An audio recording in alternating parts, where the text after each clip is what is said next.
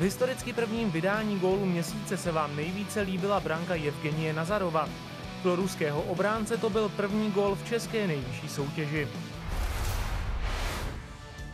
Ale teď už se pojďme podívat na nejhezčí branky měsíce září.